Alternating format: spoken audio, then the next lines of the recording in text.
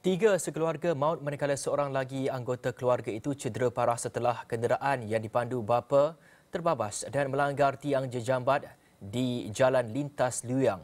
Kejadian jam 11.41 malam itu membabitkan Jimmy Carl Asam, 44 tahun yang memandu kenderaan Nissan Navara, dua anak lelaki dan seorang perempuan belasan tahun. Menurut Ketua Polis Daerah Kota Kinabalu, Asisten Komisioner Muhammad Zaidi Abdullah, siasatan awal mendapati kenderaan pacuan empat roda tersebut terbabas sendiri sebelum merempuh tiang jejambat.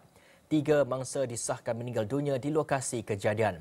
Manakala seorang lagi anggota keluarga tersebut, kanak-kanak lelaki berusia lima tahun parah dibawa ke Hospital Queen Elizabeth untuk mendapatkan rawatan. Kes disiasat mengikut Seksyen 41-1 Akta Pengutan Jalan 1987.